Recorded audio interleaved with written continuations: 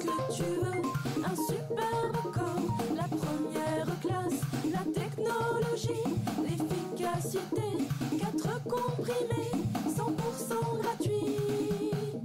IDFM Radio Anguin 98 de la bande FM. Bonjour à toutes et à tous. Émission Retour aux sources, retour aux sources aujourd'hui où nous allons parler d'une fontaine, d'une fontaine au symbole avec Georges Colloil. Il est chercheur et écrivain. Il s'intéresse depuis l'enfance au langage symbolique. Ses parcours personnels et professionnels l'ont conduit à explorer ce territoire dans des domaines aussi variés que la philosophie, la mythologie, la linguistique, la psychanalyse, la poésie, le monde des rêves, etc., etc. Il anime des sessions de formation sur la fonction thérapeutique des symboles, en prenant par exemple, en prenant ces exemples dans la mythologie grecque, mais aussi dans la symbolique des nombres ou de l'ancien tarot de Marseille, l'art et les cultures du monde. Il, nous, il vient de nous publier aux éditions d'Angle un ouvrage qui s'appelle La fontaine aux symboles, sous-titré Métaphores et archétypes dans les thérapies alternatives. Georges Colloy, bonjour. Bonjour, Bonjour. Alors, est-ce que la description que j'ai faite de vous, qui se trouve en quatrième de couverture de votre livre, vous convient? Bah, Écoutez, je crois que vous avez tout dit. Euh, l'émission est, presque terminée. Alors, on vous arrête. Avez fait un, tour d'horizon, euh, voilà, de mon chemin.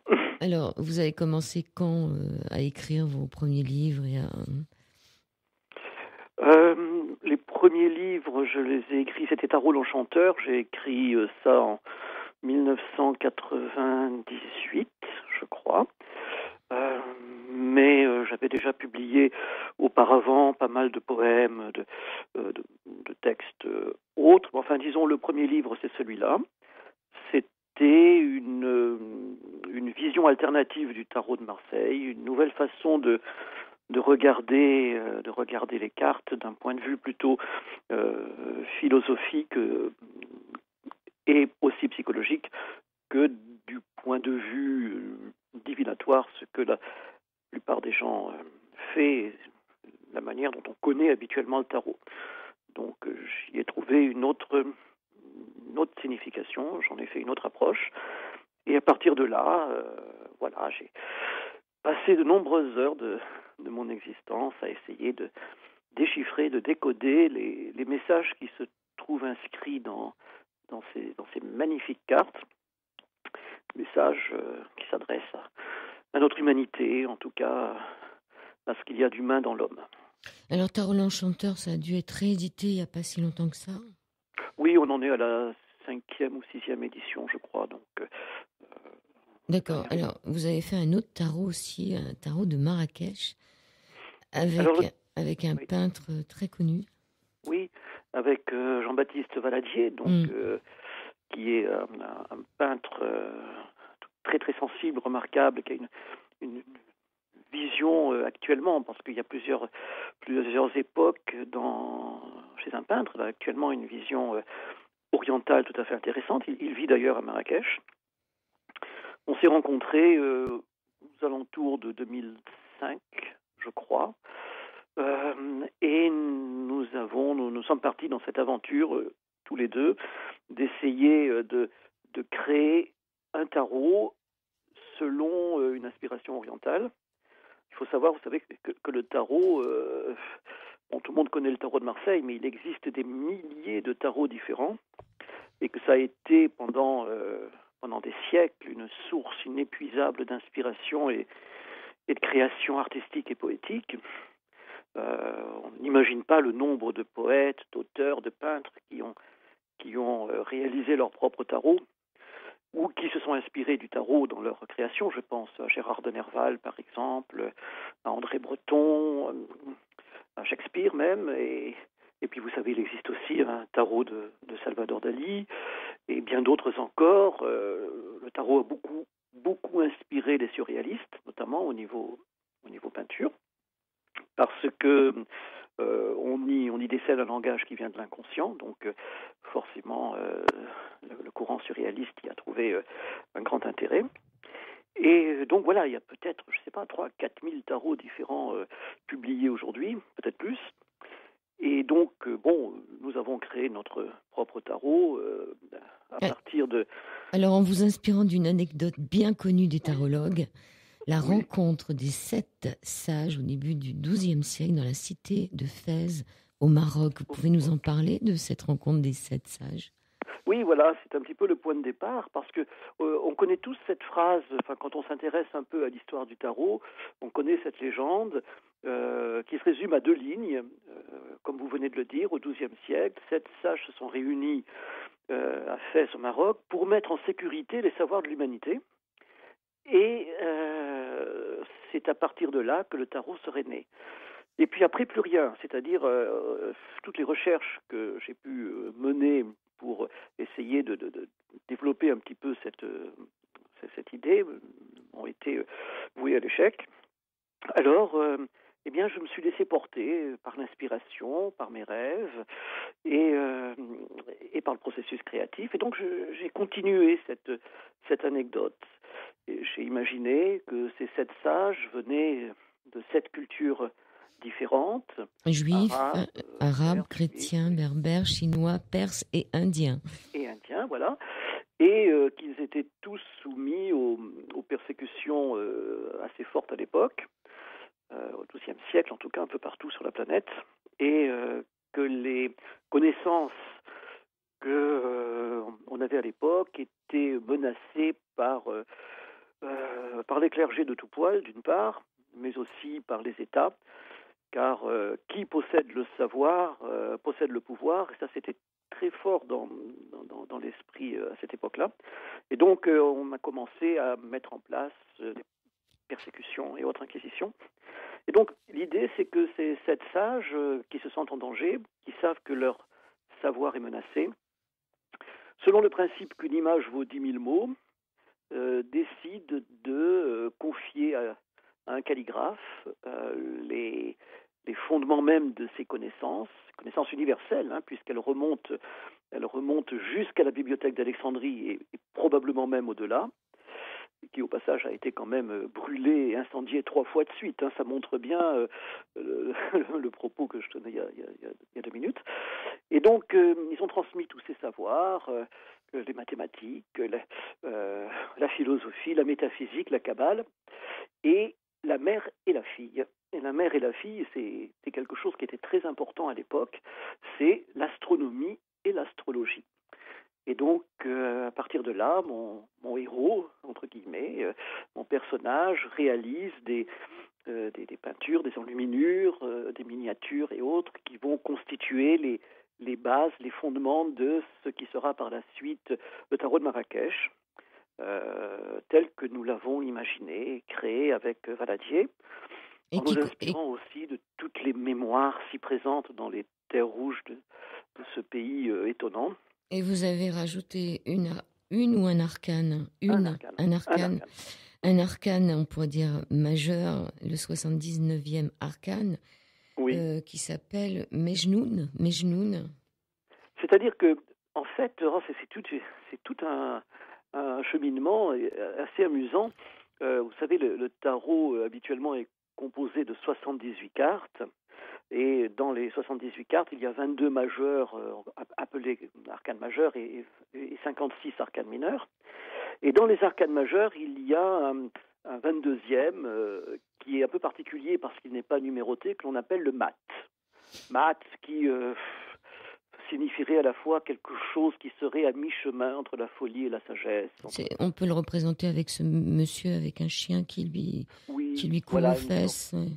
Oui, une sorte le de vagabond, de clochard qui, traverse, qui, traverse le, qui traverse le monde, un voyageur sacré, qui parfois est très mal reçu, parce qu'il est marginal, bien sûr, et parfois est très bien compris parce qu'il a une puissance géniale d'inventivité et d'originalité. Et donc, ce personnage existe dans le tarot de Marseille. On avait, et les tarots ont 78 cartes. Euh, l'idée, c'était une, découverte que j'ai faite en étudiant le, tableau de Mendeleïev, parce que j'ai aussi une petite formation en physique-chimie.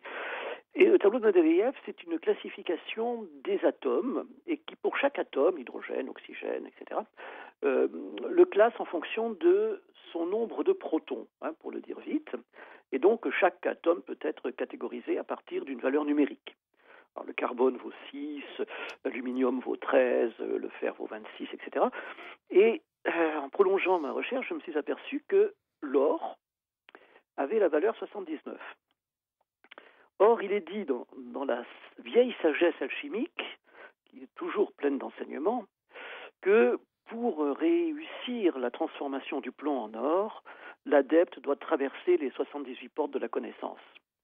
Alors, vous imaginez, quand j'ai vu que le que, que l'or avait le nombre 79, euh, ça a été vraiment une grande bascule dans ma vie, de me dire, mais alors, euh, la fonction alchimique du tarot nous inviterait à, à, à, mettre 79 arcanes plutôt que 78. Alors, ce Mejnoun, expliquez-nous ce qu'il est, ce Mejnoun. Alors, le Mejnoun, c'est un personnage donc de la, de la tradition, euh, tradition, la tradition arabe. C'est assez équivalent au, au maths finalement, puisque pour certains c'est un, un, délirant, un fou, pour d'autres c'est un grand sage. Et donc euh, l'idée, c'était non pas de rajouter une carte supplémentaire, mais de euh, couper en deux. D'imaginer, voilà, mm. d'imaginer de couper en deux une carte. Pourquoi? Pour euh, une double raison. D'abord parce que c'est la définition première du mot symbole. Un symbole, c'est un objet coupé en deux, dont chaque partie a gardé la mémoire de son ancienne unité. Donc ça, c'est vraiment la définition étymologique du mot symbole. Et la deuxième idée, c'est une anecdote que j'ai découvert ça en visitant euh, le musée de la carte à jouer à ici les Moulineaux, le très euh, beau musée. Euh, pendant longtemps, lorsqu'on abandonnait un enfant, on déposait, ce qui était courant à l'époque, on déposait à l'intérieur de son berceau une carte déchirée en deux, que l'enfant euh, gardait dans son berceau et que la maman, la maman en gardait une partie. L'idée, c'était euh, de dire que si un jour l'enfant voulait retrouver sa mère, euh, eh bien, euh, il avait, voilà, les, les, sœurs de charité qu'il avait adoptées ou qu'il avait en tout cas recueillies pourrait lui donner cette information et alors là, il aurait un moyen de retrouver sa mère, c'est-à-dire celle qui a l'autre morceau de la carte. Alors ça, c'est assez étonnant parce que déjà, ça recoupe l'idée de la définition du mot symbole, et puis euh, ça fait réfléchir sur la notion un petit peu d'identité, euh, réunir des parties de soi qui sont un peu manquantes. Euh, c'est amusant d'ailleurs parce qu'aujourd'hui, il y a tout un débat sur sur l'accouchement sous X, vous savez, je pense qu'au Moyen Âge, on avait déjà bien résolu le problème, de certaines manières.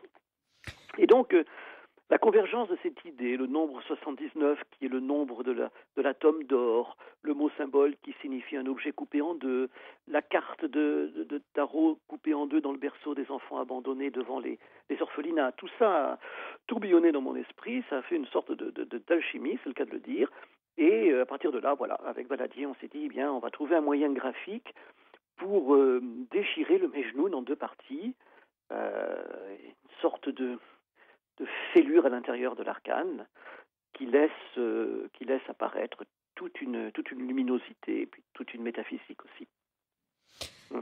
Oui, très intéressant. Donc, ce, ce tarot de Marrakech qui a été publié en quelle année, celui-ci?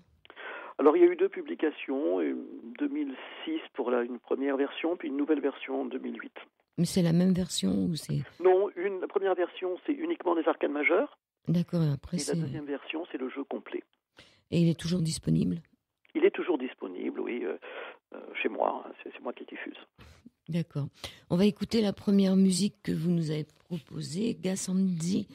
Gassandi, oui. Alors, dites-nous qui est ce cette Gassandi Gassandi ben, est une, chanteuse congolaise dont on, on, commence beaucoup à parler aujourd'hui, qui, euh, qui est vraiment quelqu'un qui pétri d'humanité et d'amour, avec en même temps une douceur d'expression et une force de conviction assez extraordinaire. Euh, Gassandi, d'ailleurs, c'est le nom que lui a donné, si je me souviens bien, sa grand-mère. Euh, ça signifie, dans sa langue maternelle, ça, signifie l'éveilleuse de conscience. Bien, je crois que c'était vraiment un, très, euh, très bonne manière de, de, comprendre ce que cette euh, jeune fille allait devenir. Et aujourd'hui, bah, Gazanji chante pas mal. Hein. On commence à la voir dans de nombreux festivals. et j'ai choisi la, chanson Libella, qui est vraiment une très très intéressante balade, je crois, on pourrait dire. Ça, signifie pour l'éternité. Ah, bah, c'est joli. On se retrouve juste après, Georges Collol. Merci beaucoup. Merci. C'est parti.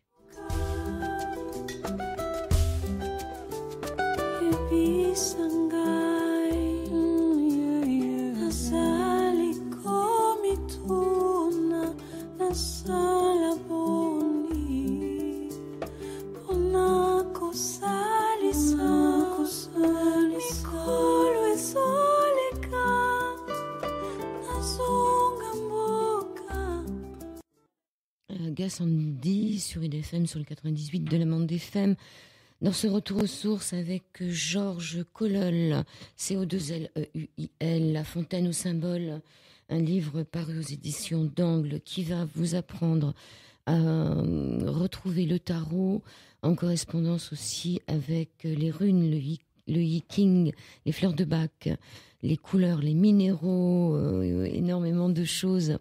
Georges Collol.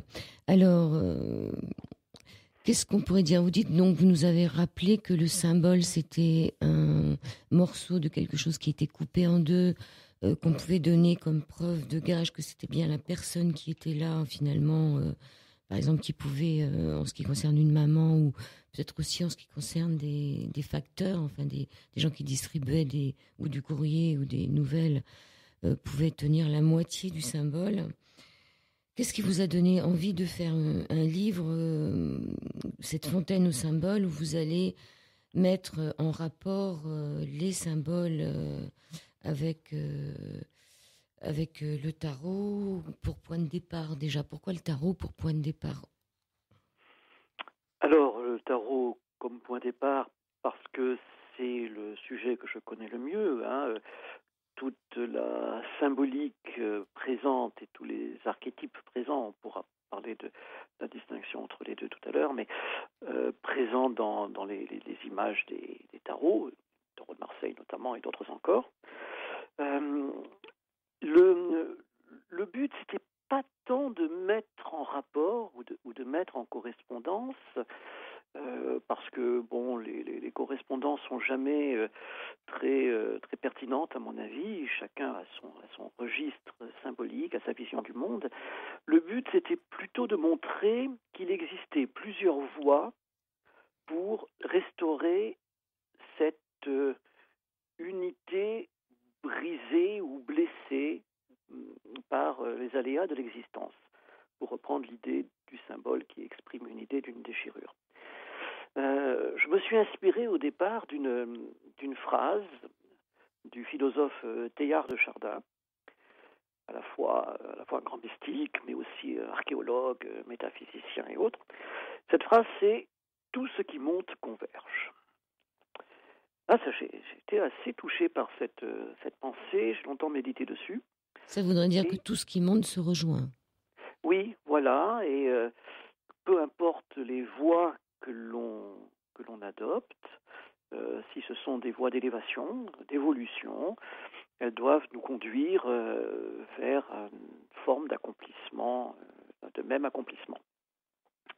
Alors, dans, dans, dans, dans ma vie, dans, mes tournées, mes, mes, conférences et autres, j'ai souvent rencontré des, des, philosophes, des chercheurs, des, des, thérapeutes qui étaient spécialistes dans un domaine ou dans un autre. Hein, euh, vous parliez des fleurs de Bach hein, ou euh, de, des huiles essentielles ou bien euh, du yoga aussi. Vous mettez le yoga. Hein. Et j'ai été frappé quand même par par ce, ce, ce positionnement que j'entendais souvent, qui laissait supposer que voilà il y avait euh, il y avait une voie avec une certitude et, et, une vérité, et, ça, et, le chemin vers la connaissance, vers, euh, l'unité ne pouvait passer que par le yoga, ou que par euh, l'astrologie, ou que par le, Kabbalah, etc.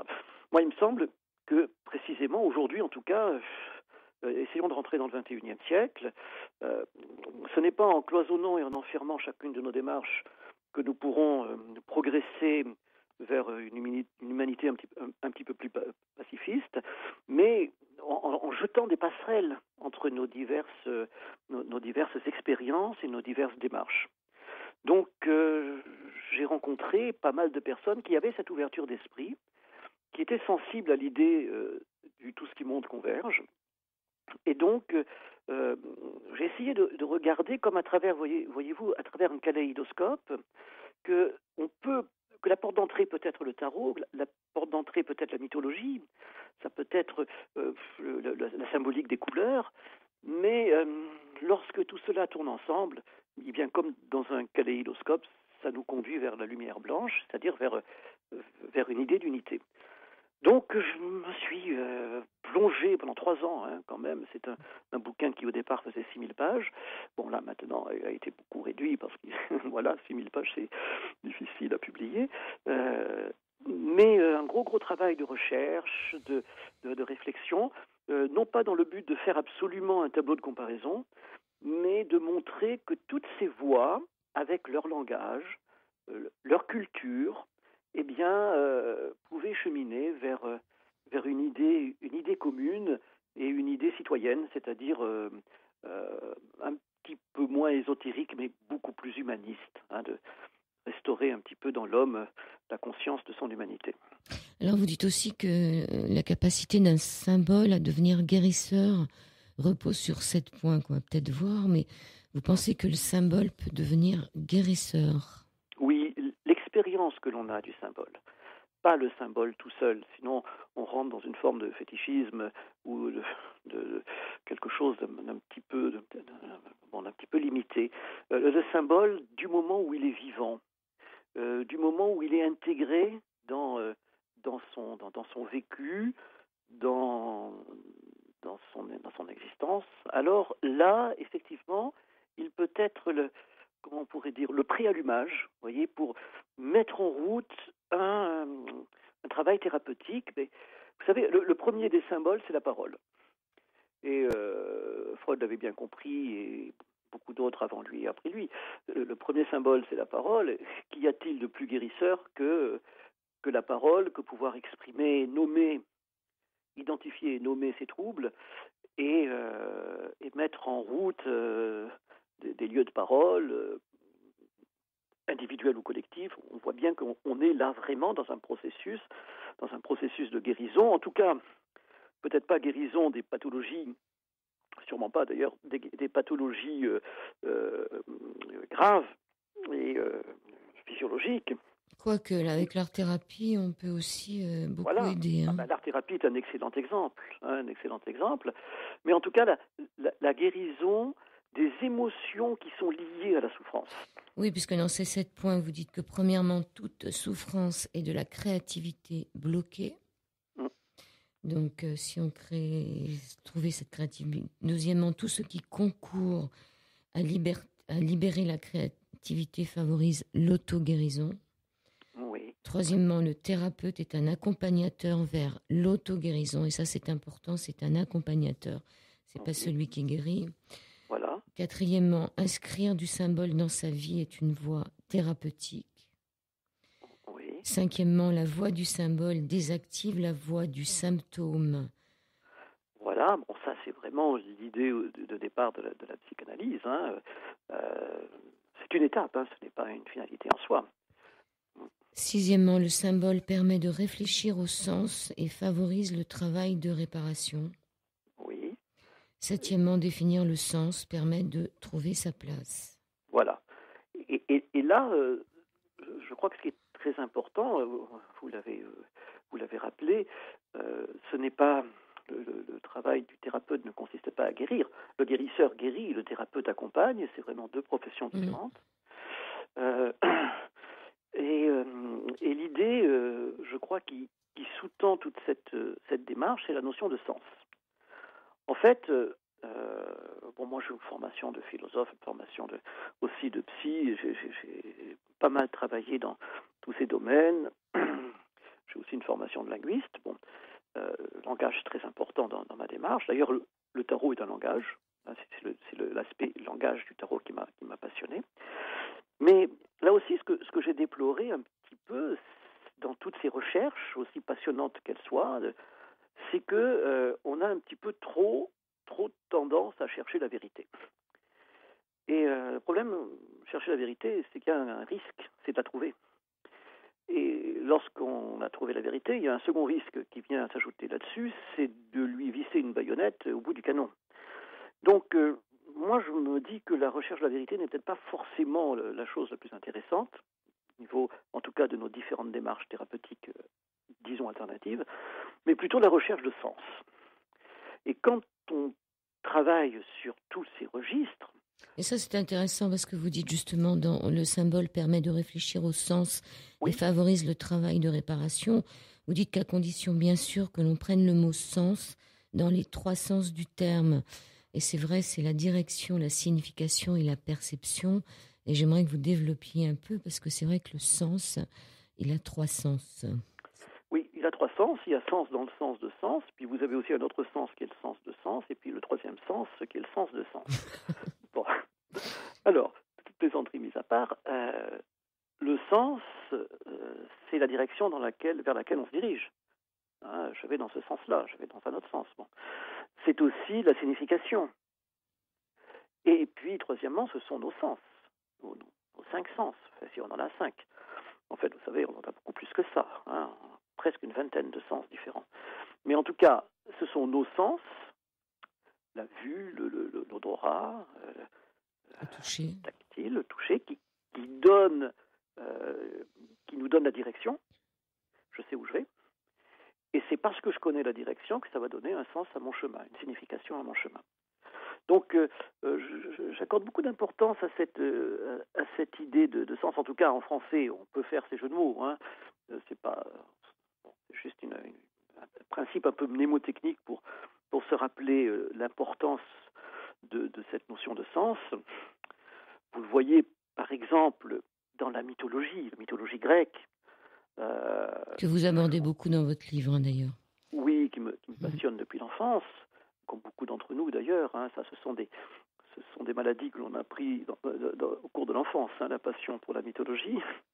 Eh bien, dans la mythologie grecque, on a des, personnages, euh, des personnages emblématiques, hein, euh, Oedipe, Héraclès, euh, Thésée, etc. Et, évidemment, nous ne sommes pas là à la recherche d'une vérité, de savoir si oui ou non Oedipe a existé, si Thésée a existé, si Andromaque, et Antigone et Persée ont existé. Par contre, à la lecture de, leur, de leurs aventures, leur initiation très souvent, on peut se poser la question, quel sens ça a pour moi que euh, ce personnage ait vécu telles épreuves et réussi tel défi, etc. Pour Oedipe, tout le monde le sait, parce qu'on a fait du, du mythe d'Oedipe euh, complexe, euh, le complexe que l'on connaît. Et donc, effectivement, ce qui est intéressant dans l'histoire d'Oedipe, c'est pas que Oedipe ait existé, c'est qu'il y a une partie en moi qui fonctionne un peu comme Oedipe. Ça, ça prend sens. Ça, ça fait sens. Et puis, il y a les autres, les autres thèmes, les autres personnages, parce que si on parle beaucoup du complexe d'Oedipe et du mythe d'Oedipe, on parle beaucoup moins. Celui d'Électre. Euh, des autres, voilà, on parle mm. beaucoup moins du mythe d'Électre. Euh, un petit peu les psychanalystes jungiens l'ont abordé en, en, leur temps. Mais on reviendra dessus après. On va rester quand même sur, ce, sur cette histoire de, de sens qui n'est pas un sens unique, mais où il y a trois sens.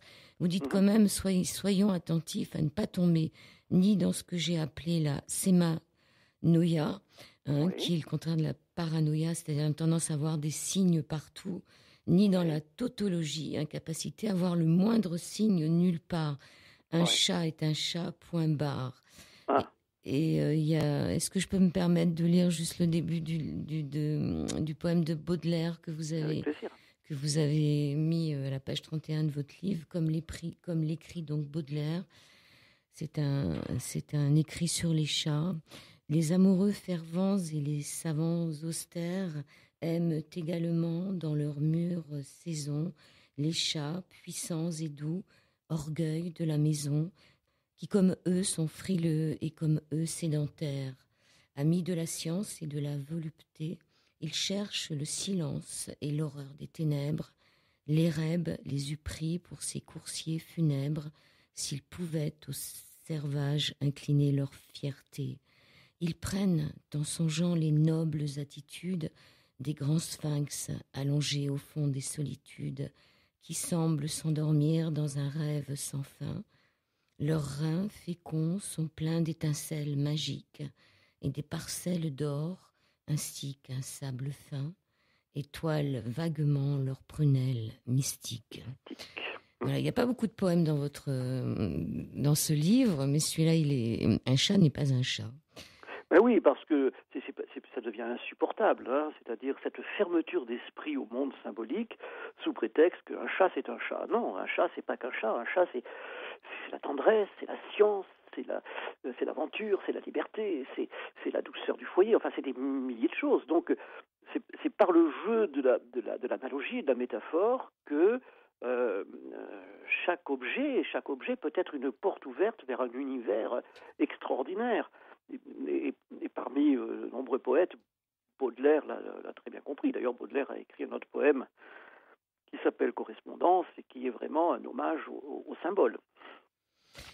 Euh, donc voilà, ça c'est un petit peu. Il y a, deux, deux, écueils que je, je, vois dans, dans, ce monde. C'est donc cette espèce de, de, tautologie, je ne sais pas si on peut vraiment l'appeler comme ça, mais en tout cas. De, sectarisme aussi. De sectarisme, c'est-à-dire de définir une chose par cette chose. Voilà, un livre, c'est un livre. la couleur rouge, c'est la couleur rouge. Non, c'est autre chose. Donc déjà, c'est une, une, ouverture vers, vers un monde plus, plus large. Et puis le, le, contraire, la symétrie, la sémanoïa, enfin bon, ça c'est un terme que, que j'ai inventé, un peu sur le, construit sur la même base que paranoïa, c'est-à-dire avoir des signes partout et ne plus pouvoir faire un pas sans euh, interpréter un numéro d'immatriculation de voiture, euh, une pierre sur le chemin, euh, un avion qui passe dans le ciel comme étant un signe qui nous est adressé. Trouver des réponses aussi dans ces signes. Voilà, et puis les réponses, mm. à, un moment donné, euh, je crois que, voilà, il y a un signe, il y a un signe, il y a un signe. Euh, oui, euh, je pense qu'entre les, entre les deux, on peut trouver un chemin un peu, un peu, un peu pacifié, c'est-à-dire ne pas négliger le signe, mais ne pas non plus en faire une fixation, une obsession. à, la, à, la, limite de la paranoïa. Donc vous dites que définir le sens du symbole permet de trouver sa place. Il y a trois choses importantes que, nous on rencontre dans, le travail thérapeutique. Euh, les thérapeutes le, pratiquent euh, quotidiennement à la consultation. Ce sont des personnes qui souffrent de problèmes de désir, de sens ou de place. Là, vous pouvez considérer que c'est 90% de toutes les séances thérapeutiques. Alors le désir, déjà, bah, peut-être euh, le désir, bah, l'absence de désir, hein, la dépression, c'est quand même déjà une grande, un grand morceau de, du travail thérapeutique. Mais il n'y a pas que l'absence de désir, il y a aussi le dérèglement du désir, désir refoulé, comme on le verra dans l'hystérie, désir perverti, etc. Donc le désir est une des clés de la problématique euh, clinique, euh, avec ensuite le sens le sens, c'est-à-dire ma vie n'a plus de sens, ou... Euh, il n'en a jamais eu. Ou il n'en a jamais eu, mm. ou, ou alors n'en a plus suite à tel, à tel mm. événement. Bon, donc euh, ça, ça fait mal. Et le troisième, euh, le troisième problème, c'est la place. Je trouve pas ma place. J'ai perdu ma place. Alors ça peut être dans la famille, ma place de père, ma place de, de, de, de frère aîné. Bon, ça peut être dans l'entreprise, ma place. Voilà, j'évolue pas. Je suis, je suis bloqué dans mon dans ma progression par un petit chef qui me déteste, bon, ou alors euh, une place métaphysique, c'est-à-dire euh, ma place dans, dans, le cosmos. Et, et c'est là où je, où je réponds par le symbole. Beaucoup de gens disent aujourd'hui qu'il faut consommer biologique. Moi, je dis euh, consommons symbolique. Parce qu'en consommant symbolique, eh bien, on apporte à cette triple, cette triple souffrance du désir du sens et de la place, euh, la, la, voie, une voie d'ouverture euh, et, de, et de conscience euh, extrêmement, extrêmement favorable à, à, un retour sur soi, un retour au désir, un retour au sens et un retour à la place. Alors, vous nous avez choisi un, comme second morceau de musique Jean-Paul Guédot Daniel avec un titre Garibaldi. Pourquoi? Ah bah Garibaldi, d'abord, c'est un chanteur qui, qui vient de Nice. Alors son nom, c'est Garibaldi, alors. D'accord, alors. Voilà, Guido Daniel. Et le titre, c'est Garibaldi. Et le titre, c'est Garibaldi. Et Garibaldi, pour moi, c'est une image fabuleuse de, de, résistance, euh, de rébellion, d'une grande force, une grande énergie. Et euh, voilà, donc entre l'énergie de Garibaldi et le, souvenir de ma ville de Nice, j'ai choisi de partager cette chanson avec vous. On va donc écouter euh, Garibaldi. La fraternité comme bannière, il sut lever les volontaires, vert pour l'espoir, blanc pour la paix, et rouge pour la liberté. Ils furent cent, ils furent mille, depuis le Piémont jusqu'en Sicile, sortis des villes venues des champs, grossir les rangs de l'incorruptible. Alors, permets qu'on te vénère comme un héros autant qu'un père. Toi qui voulais par toute la terre chasser l'obscur pour la lumière, tu galopais toujours devant, tunique au vent, couleur de sang, comme le repère bien vivant de la justice en mouvement. Voilà, il s'appelle Jean-Paul Guédo Daniel, euh, G-A-I-D-O plus loin Daniel. Je ne connaissais pas ce chanteur. Pourquoi vous nous avez parlé de Nice, Georges Colloil Pourquoi je vous ai parlé de Nice Oui. Ah ben parce que j'ai un attachement particulier à la ville de ma naissance. Bon, d'accord, donc vous êtes né à Nice, c'est une belle chose. Je pensais à quelque chose, ce symbole dont vous nous demandez plutôt que de d'être euh, bio, d'être euh, symbolique, ça voudrait dire qu'on a une partie en soi qu'on cherche, puisque le symbole est coupé en deux. Ça voudrait dire qu'on cherche une partie de soi-même. Ouais, oui, il manque un morceau. Je pense que la, vraie question est là. Il manque un morceau. Alors peut-être, ça peut être l'âme sœur. Euh, ça peut être notre sentiment d'exil. Alors pour certains, c'est Dieu hein, qui, hein, qui, nous, qui, nous, qui nous a quittés. Pour d'autres, euh, ce sera l'amour. Pour d'autres encore, ce sera la mer. Euh, d'ailleurs, un des plus étonnants symboles que je connaisse, c'est le cordon ombilical. Oui, qui n'est jamais coupé. Qui n'est jamais coupé et surtout qui fait, qui fait le lien, hein, qui réunit deux morceaux ensemble. Euh, et dans votre livre, vous précisez bien qu'il n'y a pas qu'une seule personne qui doit le couper. On est deux à couper le cordon. Ah oui, oui, ouais. Ça, c'est important. Oui, oui, ça me rappelle le film Tanguy. Donc il peut être coupé d'un côté, mais pas coupé de l'autre. Alors ça fait quoi? Ça fait des êtres qui flottent dans le cosmos? Ça se passe comment? Ah non, c'était juste une petite, une petite, petit trait d'humour euh, sur la relation, euh, la relation d'un enfant à, ses parents, parce que on dit souvent que l'enfant doit couper le cordon, mais euh, c'est pas parce que l'enfant a coupé le cordon que la mère aussi, que la mère l'a mm. coupé aussi. Hein. On, on, oublie souvent cet aspect-là. Un cordon, c'est Jacques Salomé hein, qui, je crois, dit quelque part qu'un cordon, ça a deux bouts. Euh, et effectivement, le cordon ombilical en est le premier exemple.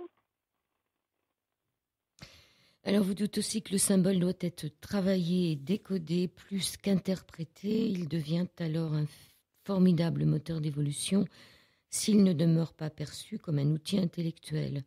Il y a un autre danger qui demeure, celui de la réduction. On lâche parfois un c'est symbolique comme pour s'excuser, comme si le sujet dont on parlait manquait de réel, de substance. C'est quoi ce c'est symbolique? Vous savez, c'est comme un médecin qui, qui est incapable de comprendre. C'est psychosomatique, oui, qui vous répond, c'est nerveux. Euh, je veux dire, c'est un manque total de dignité, un manque total de respect de celui qui souffre, et euh, c'est la preuve d'une incompétence. Euh, le, la question du c'est symbolique, c'est pareil. C'est-à-dire que lorsqu'on ne comprend pas quelque chose, un tableau, une chanson, un, film, voilà, on, jette un c'est symbolique histoire de, de, régler le problème. Ben, au contraire, si c'est symbolique, c'est extraordinaire. C'est-à-dire que là, il y a une demande une demande d'investissement un petit peu dans le dans, dans, la réflexion, de, dans, dans, le décodage, euh, un petit peu de culture, un petit peu d'études, ça n'a jamais fait de mal à personne. Oui, ça mais, mais en même temps, ça, ça, simplifie les choses. Ah bah oui, ça simplifie les choses. Euh, la simplification, euh, c'est aussi, voilà, je parle de réduction, c'est-à-dire que euh, c'est une manière de se débarrasser du problème.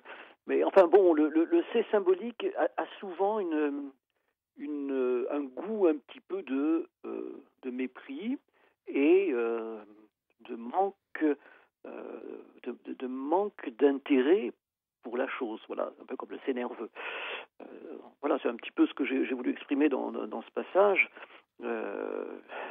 C'est-à-dire que dire de quelque chose que c'est symbolique, pour moi, c'est une ouverture vers l'universel, c'est une ouverture vers, euh, vers l'art, vers, vers, vers, la dignité de l'être humain et de son, sa relation avec le cosmos.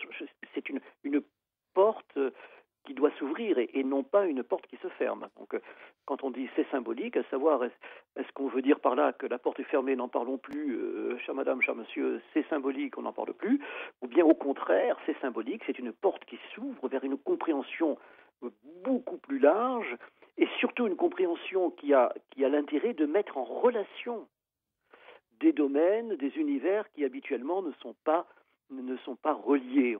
On enferme les, on enferme les choses dans, dans des, dans, des cases et on oublie de voir tous les liens qui existent entre déjà entre les différentes sciences et aussi entre les différents domaines de la connaissance.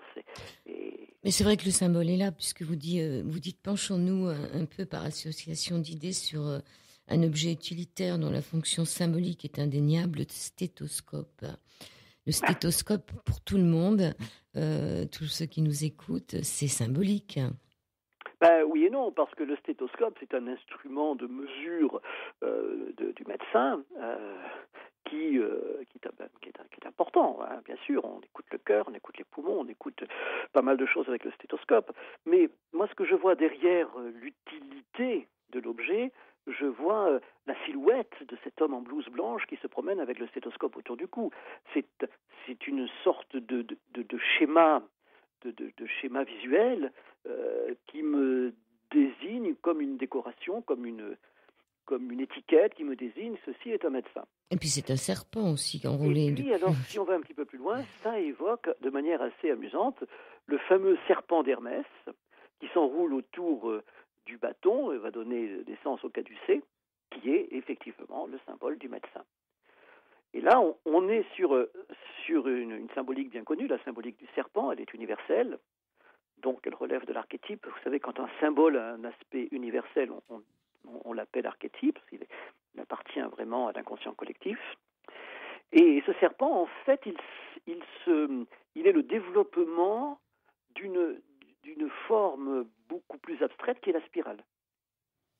Et euh, c'est très intéressant parce que pour moi, ce sont peut-être les deux premiers archétypes fondamentaux qui ont donné naissance à tous les autres symboles de l'existence, c'est-à-dire le bâton et la spirale. Hmm. Le bâton dans sa verticalité. Et la spirale. Euh, et la spirale dans effectivement son mouvement, euh, son mouvement. Bon, l'un et l'autre représentent deux attitudes différentes de l'esprit. le, bâton vertical donne l'idée d'une rationalité. Mhm. C'est Nietzsche qui disait un orthogonal de corps et d'esprit. Donc le bâton, voilà, c'est carré, c'est droit, c'est rigide, rationnel, mhm. cerveau gauche. Bon. Et la spirale, c'est le moyen d'aborder la réalité par des voies de détour, enfin dans des voies détournées. Et donc on est plus dans l'intuition, l'émotion, l'analogie. Et vous faites une corrélation avec l'ADN. Et avec, l'ADN, voilà. Mhm. Donc euh, lorsque les deux se mêlent, parce que lorsque le, la spirale et le bâton, euh, parce que le bâton, il va permettre à la spirale de se dupliquer. Vous voyez, le, le, bâton, le caducée, par exemple, c'est deux serpents qui s'enroulent mm. autour d'un bâton et euh, qui se retrouvent au sommet. Donc, euh, je trouve que c'est un des plus anciens symboles de, de l'histoire de, de, de l'humanité, de, cette spirale. Et c'est bien l'ADN a bien une forme spiralée. Lorsque l'homme médite sur ses origines euh, et sur les programmes qui constituent son identité, et eh bien effectivement, il médite sur une spirale. C'est pas étonnant qu'on puisse parler ici d'ADN. Et vous dites aussi que ADN a la racine du nom Adonai. Voilà, ça c'est plus un, un, jeu de mots qu'une véritable étymologie, mais euh, c'est quand même, quand même euh, curieux à, à observer. Donc, euh, vous parlez aussi de, du jeu de loi, qui est, euh, qui est un jeu initiatique qui date du XIVe siècle et qui a pour origine le jeu égyptien du serpent. On a retrouvé ce jeu égyptien du serpent? Oui, beaucoup, plus ancien, hein, en grande antiquité, antiquité égyptienne. J'ai visité l'année dernière au musée de Cluny une très belle exposition sur les jeux antiques, et là il y avait des, des jeux du serpent, justement, égyptiens, que j'ai pu voir dans des vitrines, assez impressionnés parce qu'ils étaient dans un état de, de, de, de netteté, de conservation incroyable. On les, on les aurait cru sortis d'un catalogue de fabricants de jouets contemporains, tellement ils étaient, ils étaient nets. Et donc, euh, bon, voilà. c'est un, et, ça, et ça se traduisait comment? Par un, par un plateau aussi, comme dans le jeu de loi? Oui, un plateau, des, des pièces qui s'encastraient à l'intérieur de, de petites encoches et qu'il fallait déplacer selon un euh, protocole, là je ne saurais pas l'expliquer en détail, mais selon un protocole avec des dés, je suppose, pour euh, mhm. atteindre des objectifs. Intéressant. Le, le, tarot, on disait que ça venait de l'Égypte. Vous pensez que ça vient d'où le tarot par lui-même? Alors, ça c'est une grande question, parce que vous savez, quand on parle du tarot, il faut faire attention, on, dit deux choses. D'abord, il y a le tarot en tant que jeu de cartes. Enfin, le tarot en tant que jeu de cartes, il, vient pas de l'Égypte, il date du XIIIe siècle. Euh, et peut-être s'il y en avait avant, on n'en a aucune trace euh, archéologique. Par contre, les symboles qui sont dans le tarot, qui avant d'être dans des jeux de cartes étaient en d'autres supports, eux remontent à, des temps très anciens, probablement à l'origine de l'homme. On va les retrouver, euh, on, en retrouve d'ailleurs des traces dans les sites archéologiques très très anciens. On retrouve même des traces dans sur les, gravures rupestres euh, ou sur les, parois de cavernes qui ont 30, 40, 40 000 ans. Euh, donc euh, le symbole en tant que tel qui évoque le tarot comme une voie, un, cheminement avec réflexion sur les symboles de sa vie, ça c'est quelque chose qui est très très archaïque. Le jeu de cartes, lui, ce qu'on connaît du jeu de cartes est quand même limité puisqu'on n'a pas de on n'a pas de, d'objets antérieurs au 14e, début du 14e siècle, et encore peut-être, euh, oui, 14e, 14e euh, siècle, oui, à peu près. Donc l'Égypte, oui, probablement, on a trouvé, je crois me souvenir qu'on a trouvé euh, un tesson d'amphore avec une représentation de l'arcane 11, donc la force dans le, dans le tarot, cette, jeune femme qui tient ouverte la gueule d'un lion mais qui n'a pas, euh, on n'a pas l'impression qu'elle déploie beaucoup de force physique et d'énergie, c'est juste une force mentale. Cette image-là, on la retrouve dans des tessons d'amphore qui ont plusieurs milliers d'années, donc euh, c'est probable. Mais ce n'est pas le jeu de cartes, c'est le symbole qui, euh, qui sera ensuite imprimé sur les jeux de cartes, lorsque les techniques d'impression le permettront. Alors cette femme qui représente la force et qui tient la gueule d'un lion, est-ce que ça ne veut pas dire aussi qu'elle a réussi à, vaincre sa nature animale? Absolument, c'est exactement ce que je pense. Elle ou elle l'a vaincu, ou alors elle a su la dompter pour pouvoir en retirer toute, euh, toute l'énergie, toute la, toute la puissance. Hmm. Alors, vous avez choisi euh, 462 objets symboliques dans tout ce qui monte euh, converge, cette fameuse phrase de Théâtre de Chardin, je crois. 462 objets symboliques. Pourquoi pas plus Pourquoi pas moins? Ah, alors, euh, je suis parti de la base des 22 arcanes majeurs du, tarot. De, du tarot. Donc, euh, le nombre 22 était intéressant comme point de départ. Donc, j'ai placé les 22 arcanes sur une colonne verticale. Et pour continuer à travailler sur la symbolique du nombre 22, euh, eh bien j'ai choisi 22 univers symboliques que j'ai mis sur une ligne horizontale ou 21 exactement. Bon, après, il y a des petits ajustements de calcul. Et donc, c'est la conjonction entre ces 22 et ces 21 qui vont donner 462. Euh, là, j'ai choisi 21 univers symboliques, mais effectivement, parce qu'à un moment donné, il faut s'arrêter. J'aurais pu, par exemple, je n'ai pas travaillé les mudras, vous savez, ces, mm. ces rituels indiens. Euh, avec, les mains, oui avec les mains, ça mhm. aurait pu être intéressant. Euh, il y a des tas de domaines que je n'ai que je n'ai pas les fleurs, par exemple. J'aurais pu travailler sur la symbolique des fleurs. Je l'ai je l'ai pas fait, donc j'ai fait des choix forcément et, et j'en j'en ai sélectionné 21. Mais euh, si vous avez le livre sous les yeux, vous verrez qu'à la fin de ce livre, il y a un tableau et que je propose une colonne vierge proposant à chacun d'y ajouter sa propre symbolique parce que le but aussi de cet exercice, de, de ce travail, c'est d'inviter le lecteur à faire sa propre démarche, à, poser sa propre réflexion, à faire sa propre exploration des symboles qui lui sont chers, hein, qui, qui, lui, qui, qui l'intéressent. Et voilà. Bon, donc c'est un nombre peu arbitraire, mais il fallait bien, il fallait bien structurer un cadre, et c'est sur ce nombre-là que je me suis arrêté. Alors, on commence avec le tarot de Marseille. Après, nous avons le tarot de Marrakech, les lettres latines, les éléments atomiques, les mythes, les prénoms, les huiles essentielles, les cristaux, la somatisation, les fleurs de bac, les animaux totems, les couleurs, le qigong, le yoga, les runes, le yiking, hexagramme principal, le yiking, hexagramme secondaire, les, les êtres fantastiques, les symboles X, les symboles grand cru et la colonne vierge. J'aimerais qu'on s'arrête. Pourquoi deux, pourquoi deux colonnes sur le yiking? Alors, euh, bon, je, je, suis parti de 22 arcanes majeurs. Euh, il y a 64 euh, hexagrammes du Yiking. Mm. Et donc, lors de ma recherche, rien que cette recherche-là, rien que la recherche Tarot Yiking, ça m'a pris un an. Euh, vous imaginez un an, 8 heures par jour, tous les jours, toute la semaine, pour arriver à, non pas trouver des correspondances, mais à trouver des, des, analogies. des... analogies, oui, des, des, points de convergence. Et donc, j'ai eu des problèmes de choix absolument diabolique. Et donc j'ai euh, finalement j'ai choisi euh, deux euh, deux hexagrammes pour représenter pour représenter chaque arcane de tarot.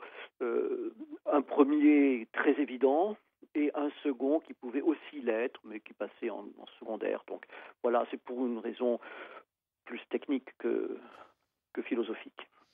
Alors, dans les êtres fantastiques, nous passons de lutin, fée, harpie, griffon, etc.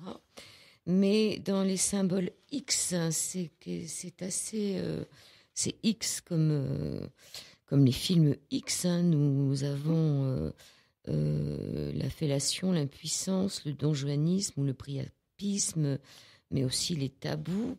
Et dans les symboles grands crus, ce sont des symboles liés au vin. Oui. Alors pour pour les vins, si vous voulez, bon, je suis passionné d'œnologie, donc et puis le l'œnologie, le vin, c'est aussi euh, euh, le résultat d'une extraordinaire alchimie. Donc euh, c'est quelque chose qui m'intéresse beaucoup. Et puis ça a été pour moi un peu une, un chapitre de de détente, on va dire, après la, la, la lourdeur. Enfin, les deux chapitres, sexualité et, et, grand, et vin grand cru, c'était plus euh, un clin d'œil. Oui, c'est amusant. Oui, ça voilà. commence avec le Beaujolais nouveau, c'est normal. Hein Butler, voilà. Non, ça, ça, commence par un mouton cadet, mouton cadet en, en 1 et mmh. en 2 la papesse Beaujolais nouveau. Euh... Oui, oui, oui. Ben, mouton cadet parce que c'est le cadet. Enfin bon, le Butler c'est le cadet du tarot. Euh, Beaujolais nouveau parce que bon, il y a cette idée de, de, de bon, joue aussi un peu avec les mots. Un lait nouveau, donc c'est la, la papesse, c'est la mère qui, qui, euh, qui donne naissance, qui donne voilà, qui donne vie à qui, donc voilà. Donc ce sont des analogies. Bon, euh, j'ai fait ça pour me détendre un petit peu, pour clin d'œil, pour voilà, pour, euh, m'amuser, mais en même temps je l'ai fait très sérieusement, c'est-à-dire euh, ce n'est pas euh, voilà le fruit du hasard ni une révélation mystico-délirante soudaine. Non, c'est c'est quand même une réflexion qui euh, qui se fonde sur une logique symbolique. Euh, ce qui concerne la sexualité, c'est un, peu particulier parce que euh, le tarot était considéré à une époque comme euh, très libertin dans le sens qu'on donnait au mot libertinage au XVIIIe ou XVIIe siècle, c'est-à-dire une, une, position rebelle par rapport à la société. Vous savez, euh, au XVIIe siècle, pour un chrétien, manger, euh, manger du cochon, manger de la viande le jour de carême, c'était considéré comme un acte libertin. Donc, il faut bien comprendre que l'idée de libertinage, selon les siècles, ça change, euh, de, ça change de fonction, mais ce qui reste commun dans, tous les cas, c'est un positionnement rebelle par rapport à un système euh, fermé. Et donc, je jouais un petit peu sur cette, cet, cet aperçu-là, quoi, disons.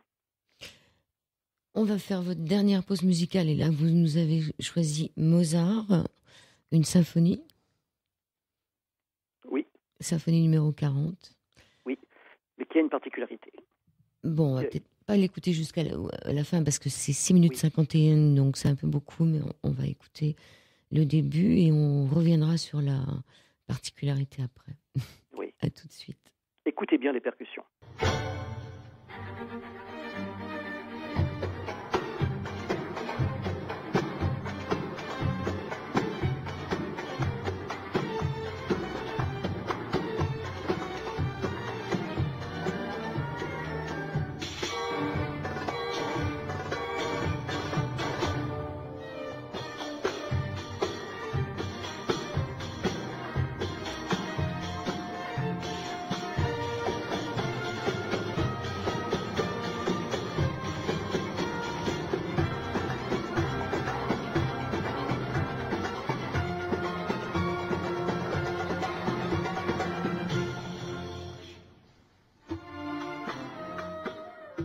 Voilà, on va revenir, on va retourner aux sources, toujours avec Georges Colloy dans cette émission Retour aux sources sur IDFM, sur le 98 de l'amende FM. Dites-nous un peu, Georges Colloy, qu'est-ce qui se passe dans cette musique? On a tous reconnu qu'il y avait comme un bruit en plus dans l'orchestre. Bah, écoutez, c'est vraiment le retour aux sources. Oui, tout à fait. Puisque, bon, d'abord, il s'agit de l'orchestre euh, Borusan Istanbul Philharmonica Orchestra, donc c'est l'orchestre euh, symphonique, philharmonique d'Istanbul, sous la direction de Cem Yilmaz, rendons-lui quand même cet honneur. Et la particularité, c'est que ce, morceau de Mozart est accompagné en percussion avec des darbuka, qui sont, euh, il y a comme ça cinq ou six percussionnistes en darbuka, sont euh, des, instruments de percussion africaines, non? Africaines et, euh, et, et pas pardon, et, euh, arabes, qui datent, qui montent jusqu'au XIe siècle avant Jésus-Christ. Je ne sais pas si vous imaginez.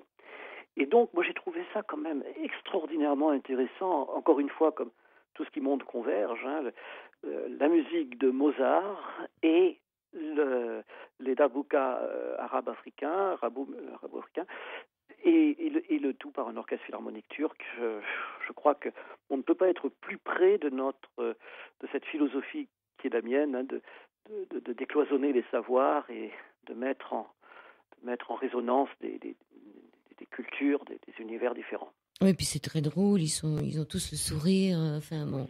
Il y a une joie de vivre dans dans la, version, disons, euh, la version vidéo qu'on peut voir euh, bien sûr sur YouTube, il y a, une, joie de vivre, mais qui, euh, qui transporte le cœur.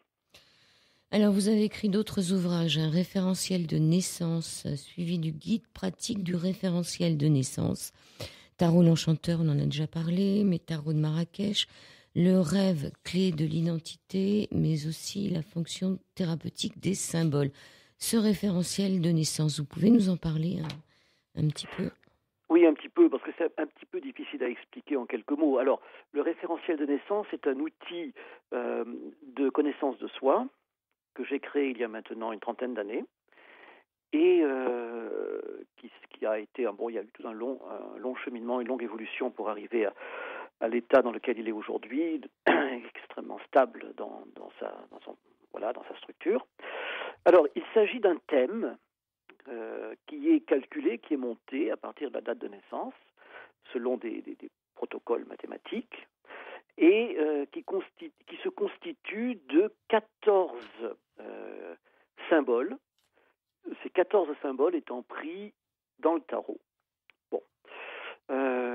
donc on a en face de soi une sorte de charte composée de 14 symboles, et chacun de ces symboles correspond à une partie de notre, de notre être, de notre vie, et nous invite à méditer, à réfléchir sur chacune de ces parties. Par exemple, euh, quelles sont nos ressources les plus fondamentales, quels sont les défis que l'on a rencontrés dans son existence, quelle est notre mission, quels sont les projets parentaux inconscients, quels sont nos passages obligés, nos expériences et nos échecs, etc. etc. Donc 14 points de projection, hein, puisqu'il s'agit aussi d'un jeu de projection, un peu comme l'était le photolangage dans, dans les années 60, euh, un moyen d'aller chercher dans l'image quelque chose qui fait résonance avec sa propre vie.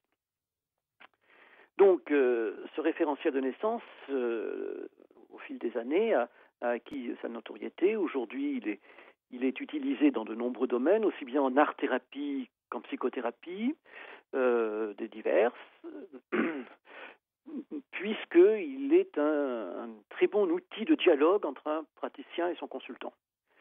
Euh, ce n'est pas comme un thème astrologique, si vous voulez, où euh, le, praticien ou l'astrologue va, faire une description d'un caractère à partir du thème. Ici, il s'agit de cartes de tarot, donc euh, des images que chacun peut comprendre et sur lesquelles chacun peut s'exprimer.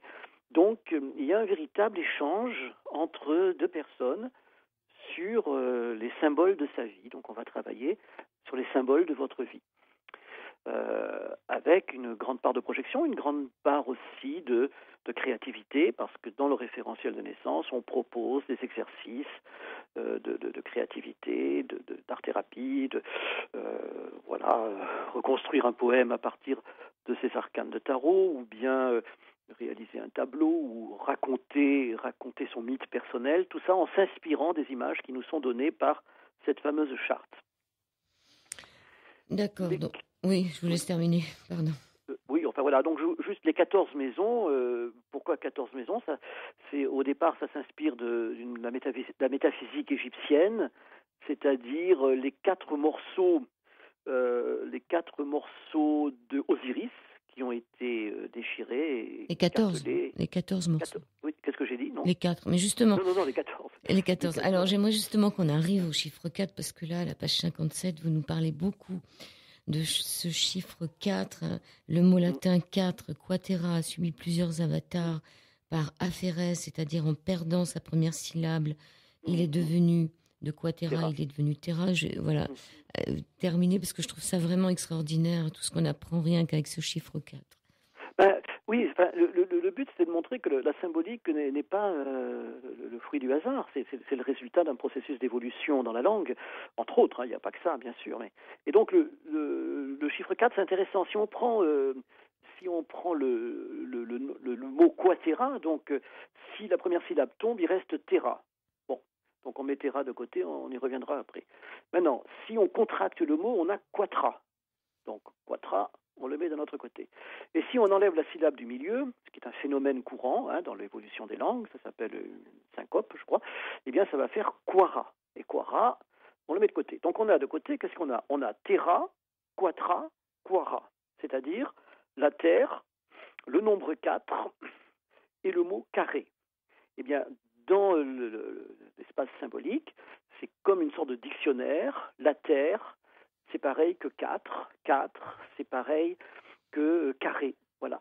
Et, euh, donc, euh, ce, type d'analyse, là je le fais sur, sur ce nombre, mais on peut le faire sur tout, toutes sortes de. Sur, tout objet, nous permet de voir des analogies. Pourquoi, par exemple, dans euh, la métaphysique chinoise, la Terre est-elle carrée? C'est pas du tout une vision géographique de la Terre, c'est une vision symbolique de la Terre. Euh, Alors comment voilà. expliquez-vous que le mot 4 est tabou en Asie du fait que dans la langue chinoise ce nombre se prononce mmh. de la même façon que la mort? Oui. Euh, Puisqu'en même le... temps c'est la terre, comment ça se fait ça? Et, et, oui, mais parce que si vous voulez, le, le mot, là je parle de quatera, quatra, quara, c'est du latin, donc nous sommes dans notre... Euh, voilà. Mais euh, derrière tout ça, il y a des archétypes qui, qui ont vraiment un côté universel. Euh, un mot tabou, vous savez, quand quelque chose est tabou, ça révèle une vérité. C'est pour ça que très souvent, euh, on, on, ne le prononce pas. Mais, euh, mais, mais dans, le, dans, les peuples asiatiques, c'est comme, bon, regardez en, en Europe, hein, dans la culture chrétienne, le nombre 13, c'est un nombre tabou, mais en même temps, eh bien, c'est, le Christ et les douze apôtres. Et c'est un nombre porte-bonheur aussi, on dit vendredi. qui peut être oui. porte-bonheur. Donc, il y a une ambivalence entre, entre toutes ces choses-là. Et, et c'est vrai que le nombre 4 est tabou en, en Asie pour des raisons, comme vous l'avez signifié, pour des raisons linguistiques. Le mot qui dit 4 en chinois, c'est pas quatra, hein, c'est euh, chu, je crois. Et ce mot, ça signifie aussi la mort. Donc, quand je dis 4 en chinois, c'est comme si je disais la mort. Donc, pas d'ascenseur avec euh, d'étage 4 ou 14, ni 14, ni 24, ni 13 d'ailleurs. Voilà, ça c'est un fameux ascenseur de Shanghai où il n'y a ni quatrième étage, ni treizième étage. Et alors vous savez pourquoi il n'y a pas de treizième étage? Parce que 3 et 1, 4 Non, non c'est ce qu'on pourrait penser. Non, c'est ce que je pensais aussi.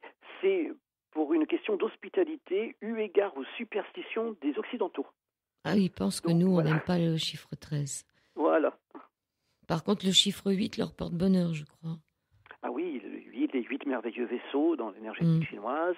Et puis les, les, hexagrammes du Yiking sont construits à partir de, du 8 comme, euh, euh, comme nombre euh, ordonnateur de, tout le système. Hein, 8 x 8, 64. Enfin, voilà.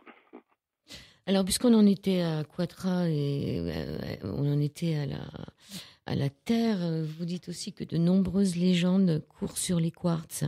Ça commence par quartz aussi, hein, qui notamment dans les régions où ce, minéral, abonde, et vous faites la, relation entre ces, fameux quartz et tout ce qu'on a comme information dans nos, dans nos téléphones, dans nos montres. Hum, hum. Oui, le, ah, ça, c'est une, les légendes sur les quartz, on en retrouve euh, jusque dans la Bible, hein, dans des, textes même plus archaïques encore. Hein. Euh, la, Jérusalem céleste est protégée par douze rangées de minéraux différents, hein, cornaline, la, sardoine, bon, je ne sais plus, le, cristal de roche, etc. Euh, en Amérique latine, le cristal de roche est considéré comme le lieu où se réfugie l'âme d'un guerrier tombé au combat. Donc lorsqu'un soldat meurt, son âme, pour se mettre en sécurité, va se cacher à l'intérieur d'un cristal. Et celui qui trouvera un cristal peut imaginer qu'à l'intérieur se trouve l'âme d'un ancien guerrier mexicain tombé au combat. Et s'il sait l'apprivoiser, eh bien, il obtiendra, comme dans la lampe magique d'Aladin, la réalisation de tous ses voeux. Alors bien sûr, c'est une légende. Euh, il n'y a pas de vérité dans tout ça, mais il y a du sens. Et même à la limite, dans le sens, moi j'y vois aussi peut-être des, des a priori écologiques et autres, hein, euh, d'un appel à respecter la nature, à être attentif aussi à la beauté du monde, telle qu'on peut la trouver dans les, dans les cristaux les pierres précieuses et autres.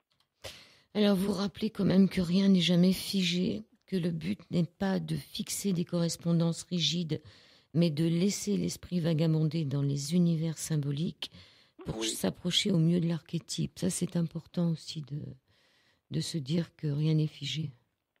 Oui, c'est très important parce que c'est vrai qu'à la fin de mon livre, il y a ce tableau qui met en correspondance donc 462 symboles, comme on a vu, mais pourrait laisser supposer que euh, ça, serait une, sorte de lexique qui dirait que euh, ce que l'on dit en termes de cristaux, ça a exactement le même sens que l'équivalent dans la mythologie ou autre. Non, c'est pas pas figé. C'est une, une, proposition d'un support expérientiel, d'un support de réflexion pour pouvoir voyager à travers les symboles, parce que quand vous voyagez à travers les symboles, vous voyagez aussi à travers les cultures. Et donc, euh, s'intéresser aux symboles de l'autre, c'est un, outil de communication, je trouve, euh, euh, humaniste. c'est un, c'est un pas, un petit pas, mais bon, il faut beaucoup de petits pas pour avancer.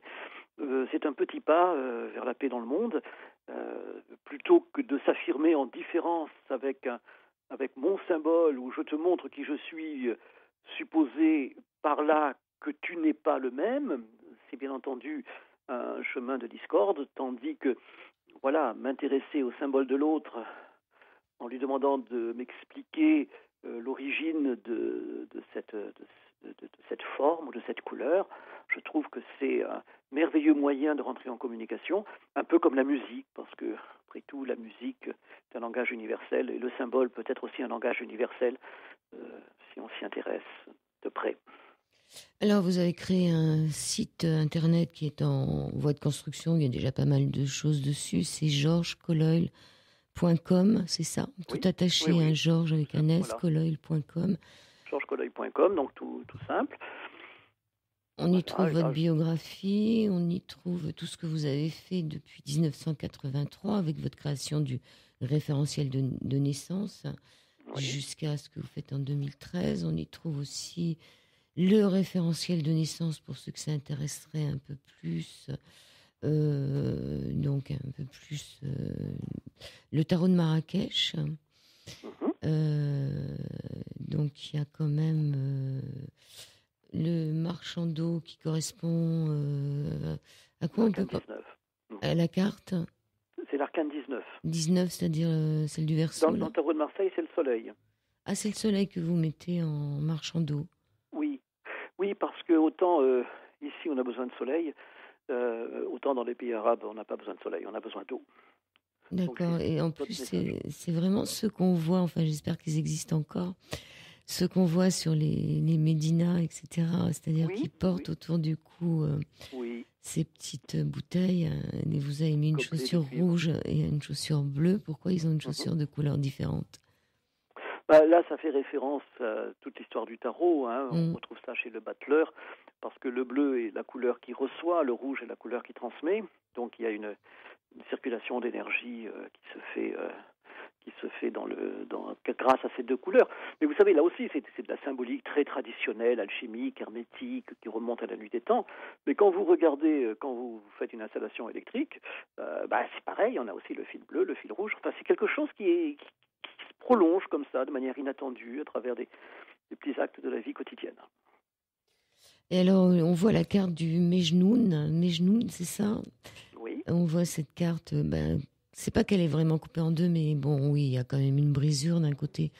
On voit comme à travers une vitre euh, pleine de baies, mais il y a quand même là un soleil, un arc-en-ciel. Et quel est cet animal qu'on voit? Alors c'est un, effet graphique hein, d'avoir euh, découpé, euh, découpé le hmm. personnage de cette manière-là. On ne pouvait pas déchirer la carte, bien sûr. C'est une hyène il y a un crabe aussi, ben, quelque part, un, serpent. Ah, c'est un scorpion. Oui. Un serpent et une hyène. Oui. Et donc ça ressemble, ça ressemble beaucoup au vagabond quand même, sauf que. Oui, oui, voilà, c'est une équivalence un peu du, du mat, mais dans la culture euh, marocaine, en accord avec la tradition marocaine.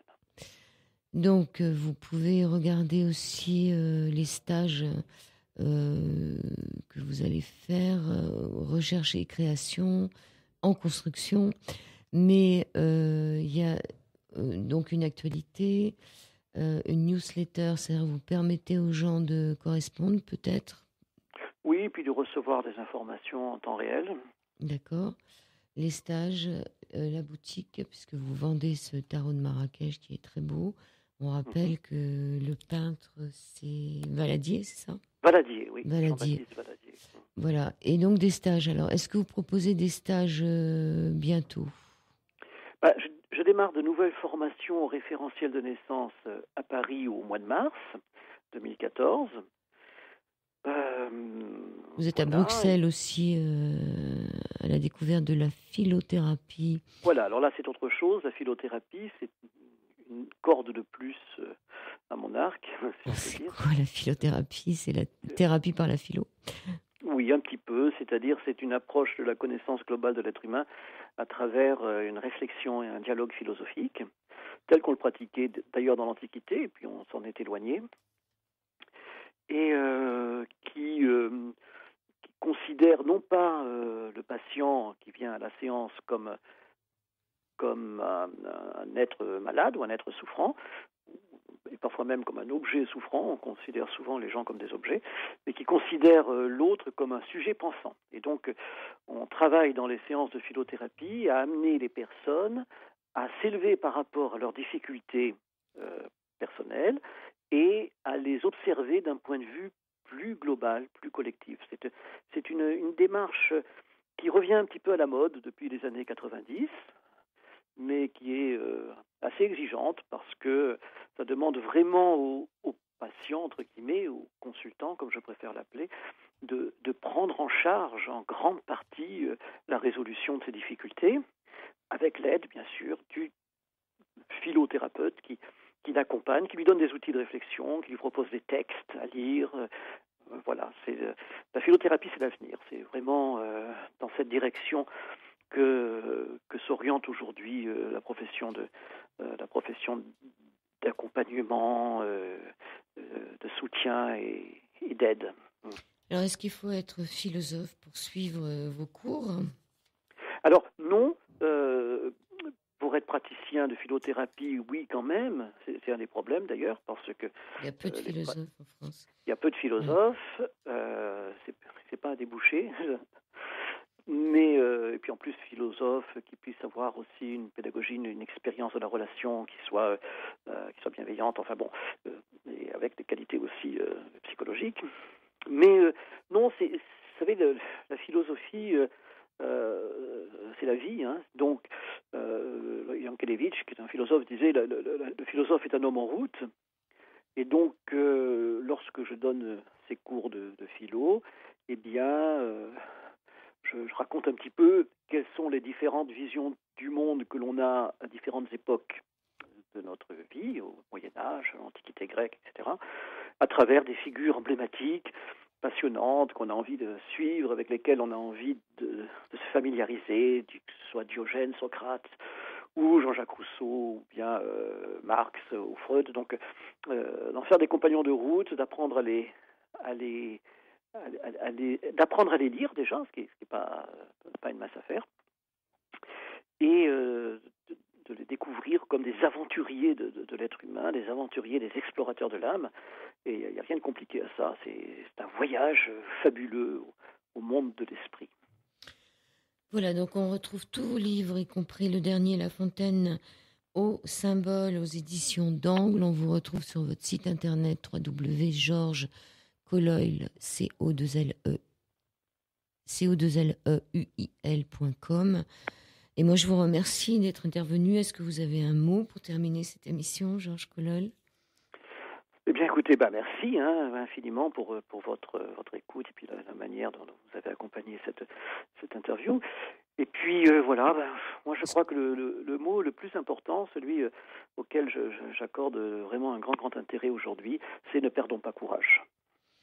D'accord. Est-ce que vous faites aussi des consultations pour des gens qui auraient des soucis dans leur vie Est-ce que vous êtes encore thérapeute non, aussi, non Plus, plus non. maintenant, j'ai été, mais plus maintenant. Là, je me consacre surtout aux formations et à l'écriture. C'est une très bonne chose. Euh, ben, je vous remercie beaucoup, Georges Collol, et puis peut-être à très bientôt pour un nouveau livre après le tarot et les fontaines au symbole. Oui, mais avec, avec, avec tous mes remerciements. Est-ce que tu veux un superbe corps La première classe, la technologie, l'efficacité, quatre comprimés, 100% gratuit. Et de FM Radio Anguin 98 de la bande FM, bonjour à toutes et à tous.